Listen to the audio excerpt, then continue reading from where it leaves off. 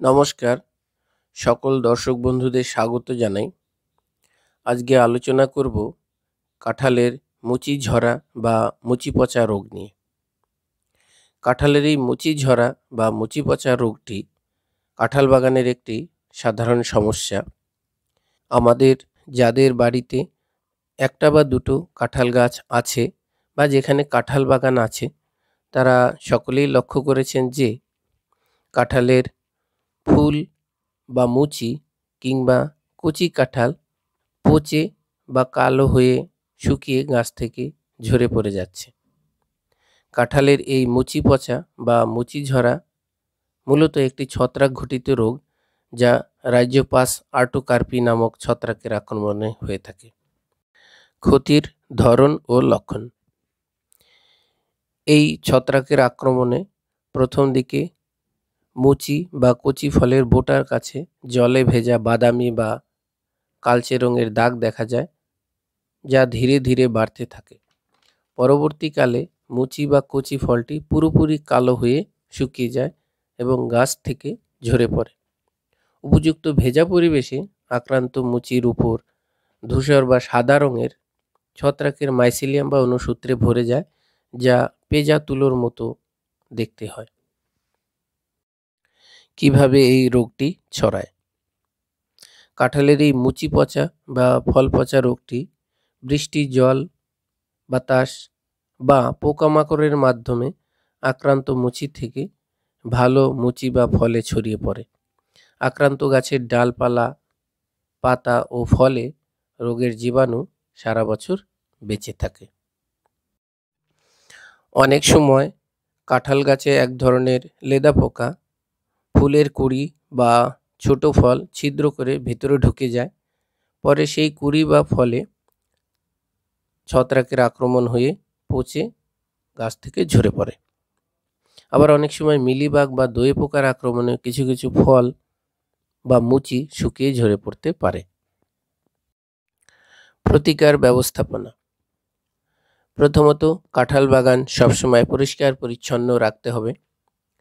দ্বিতীয়ত আক্রান্ত মুচি দেখা মাত্র।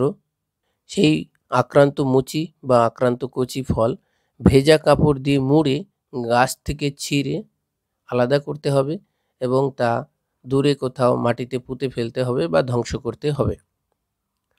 তৃতীয়ত, গাছের নিচে ঝরে পড়া আক্রান্ত মুচি পাতা, ফল সংগ্রহ করে পুড়িয়ে ফেলতে হবে।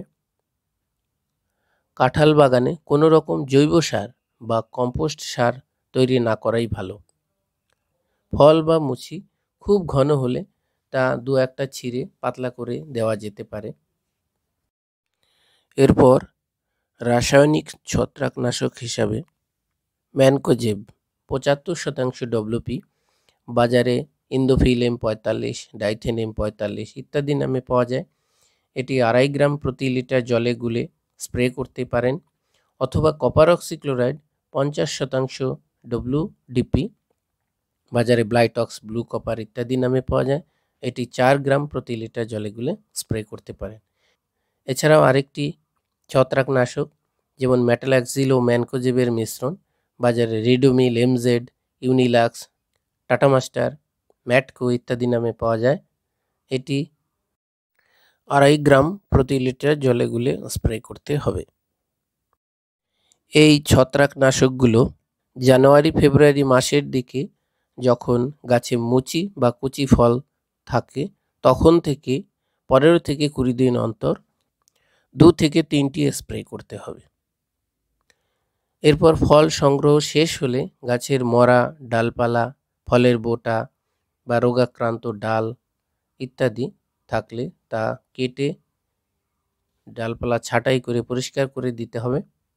পরিষ্কার করার পর একটি ছত্রাকনাশক যেমন কপার অক্সিক্লোরাইড পঞ্চাশ শতাংশ ডব্লিউপি এটি চার গ্রাম প্রতি লিটার জলে গুলে সারা গাছ ভিজিয়ে দিতে হবে এবং একটি কীটনাশক যেমন অ্যাসিফেট পঁচাত্তর শতাংশ ডব্লিউপি এটি এক গ্রাম প্রতি লিটার জলে গুলে স্প্রে করে দিতে হবে।